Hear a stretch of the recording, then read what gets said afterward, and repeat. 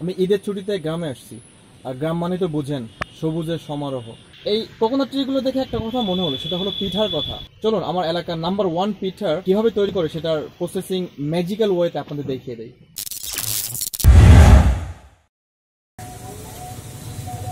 পিঠার one of the main ingredients হচ্ছে শুকনো নারিকেল।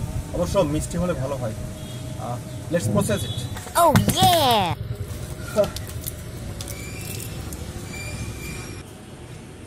So প্রথমে চালের গুঁড়া নারিকেল অ্যান্ড পানি। সিক্রেট হচ্ছে প্রথমে চালের গুঁড়া দেন পানি। অবশ্যই একটু লবণ মিক্স করে নেবেন। তারপর রুটি বানিয়ে নেবেন এভাবে। Then so much coconut coconut যত মিষ্টি হবে তত ভালো। আদারওয়াইজ আপনি একটু চিনি মিক্স করে নিতে পারেন। এভাবে মুখটা বন্ধ করে নেবেন। দেন